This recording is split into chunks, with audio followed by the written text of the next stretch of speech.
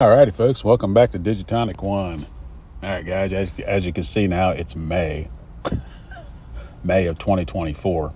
So we are out of April, and all those predictions that I made for April are now just defunct. So don't use those anymore, especially one for pick five because it did not come in.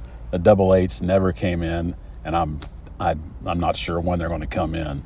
So uh, uh, the pick, the evening pick three was five two seven, five two seven. Uh, double sevens did come in on pick four, and I'm still working on those pick four predictions. And the evening pick five in Ohio was eight nine one four one. So you got a double one there, double ones there, and then the midday was double was triple fives.